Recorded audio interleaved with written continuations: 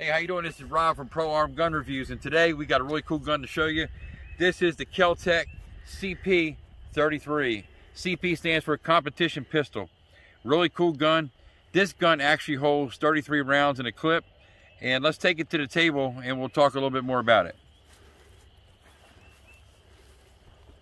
So again, uh, today we're uh, doing a review on the Kel-Tec CP33. We want to thank our sponsor, uh, Preston Spiker from Spiker Custom Gunsmithing right here in Marydel, Delaware. And he sent us this gun to do a review on. We really appreciate it. Thank you, Preston, for sending us this gun. This gun is really, really neat. Um, I have other guns that may, are made by Kel-Tec, like the um, the PMR 30, which is a 22 mag. Really nice gun. Um, the really cool features about this gun. Number one, the fact of the matter is that it does hold 33 rounds. They call it a quadruple stack magazine. Really nice setup. Um, you know, we talk a lot about 22s and about how effective 22 caliber is for self-defense. Um, you know, the CP33 falls in that same category. I will say, as far as a carry gun, it's a little bit too big to carry. The gun uh, actually measures 10 inches from front to back. Um, it weighs about one pound, six ounces, a little bit. The PMR 30 was like running around one pound, one ounce with 30 rounds in it. So weight-wise, it's not that much different, but it is a lightweight gun.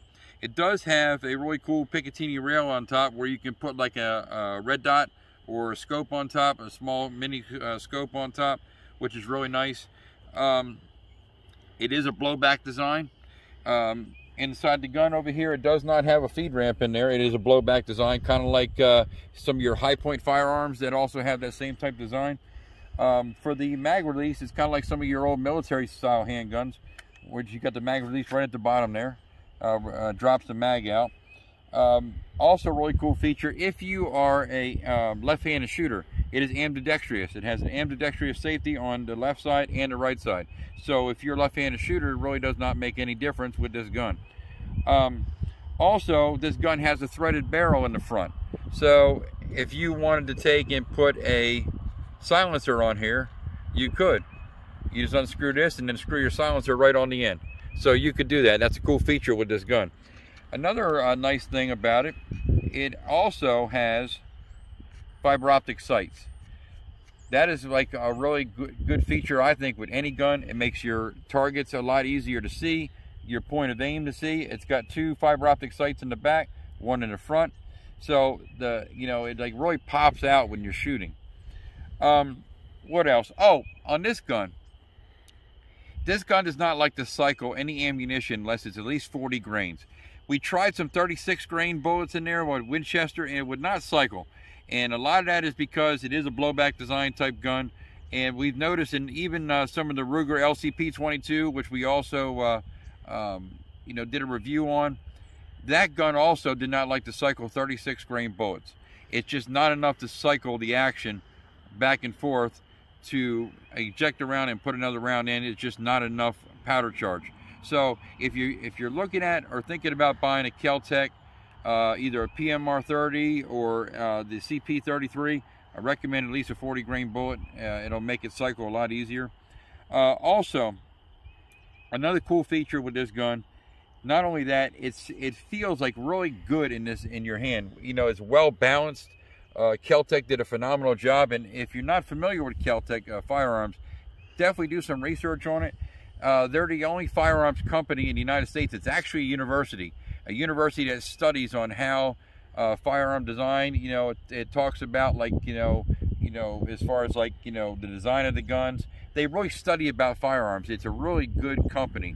Um, you know, especially if you're even thinking about a shotgun, they got the Kel-Tec KSGs out there that are really good guns. They cycle very well. So Kel-Tec is a, a company that's been well renowned and well known for a long time. So Let's go ahead and put some more rounds down range on this on this gun and let's see how it performs.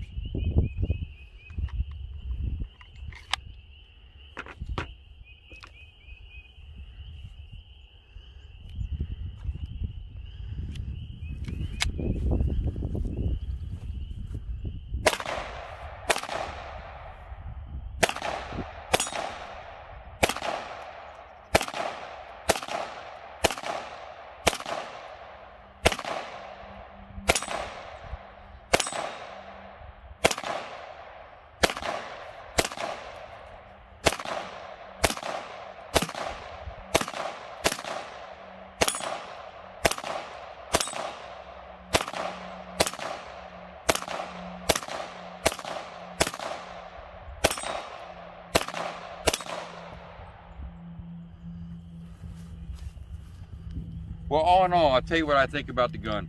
I think the gun shoots very well. Um, it's very accurate. The sights are right on. You know, for home defense, you know, I always tell everyone when it comes to 22 caliber, in this gun, you have 33 rounds to protect yourself. You're substituting the bullet size for quantity. So if you had a nine millimeter, you had 10 rounds. If someone were to come into your house, you know, you shouldn't be not that accurate, not to be able to hit something or, you know, an intruder that comes in with 10 rounds. But, you know, it's always good to know that you have 33 rounds. So, you know, all in all, I think it's a good gun for home defense if this was your only gun to have. Um, you know, there are definitely other choices out there, but I tell anyone, you know, a 22 caliber is definitely a good gun for self-defense. Um, it'll definitely get the job done if needed to in, a, in, any type of circumstance.